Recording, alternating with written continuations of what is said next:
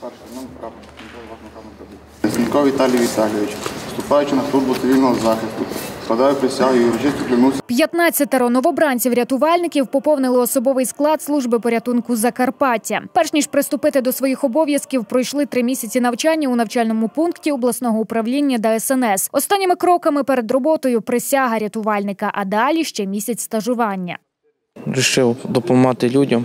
У процесі працюємо, стараємося будемо працювати.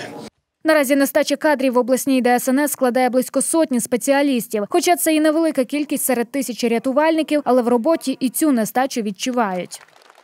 Будуть у різних структурних підрозділах нашої області, зокрема Ужгород, Мукачево, Хуст, Тячів. Ці 15 е, чоловік не укомплектують до 100% укомплектованості особового складу. Але це процедура постійна, тобто випустяться ці, е, буде поповнення інших, сподіваємося.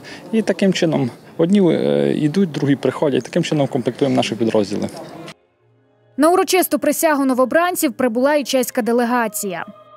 Ми бачимо, що в Україні за останні чотири роки зроблено більше ніж за попередні 20. Чеська республіка не хоче стояти осторонь та спостерігати, які відбуваються у вас процеси та зміни. Ми хочемо брати активну участь у допомозі вам. Ми хочемо допомогти вам як матеріально, так і порадою та консультаціями. Які ж урочистості без подарунків чеська делегація привезла із собою пожежно-рятувальне спорядження для закарпатських рятувальників.